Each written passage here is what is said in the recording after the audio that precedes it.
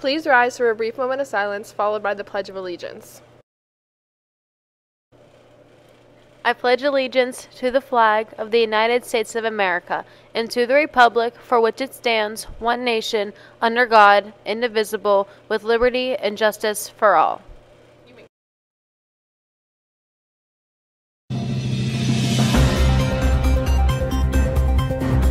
Good morning, New Brighton. Today is Thursday, September 14th.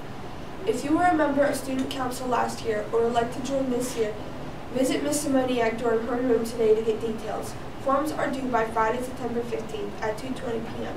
Student Council organizes many events throughout the year, such as haunted auditoriums, paw prints, and powder puff, to name a few.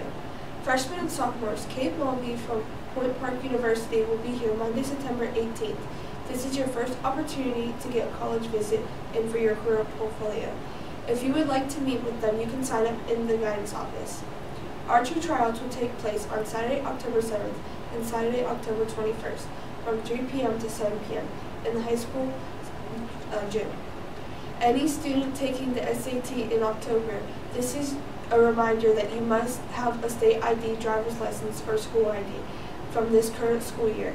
If you are in need of a school ID, please stop in the guidance office. Rosalind's has business positions open for students after school. Three store clerk positions Monday through Friday from 3 p.m. to 6 p.m. and Saturday from 10 a.m. to 6 p.m. Must be able to work three to five days a week. Must be at least 16 years old. Stock positions, rotating stock and bring the stock up from the lower level.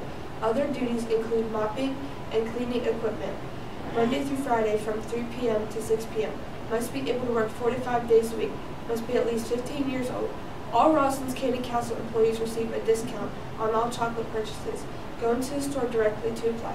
Students, if you are driving to school, please make sure you have a parking permit. These are mandatory and can be purchased for $10 in the guidance office. Parking permit applications are also available in the guidance office. Now on to sports. Good luck to the volleyball team at their home game against Hopewell tonight. Now on to 11. Today is cloudy with a 40% chance of precipitation, a high of 74 and a low of 60. Now back to the news. Happy birthday to Coretta Vincent. Lunch for today will be chicken teriyaki and rice, breaded chicken salad, tater tots, chicken sandwich, Italian wrap, and pizza. Menu subject to change.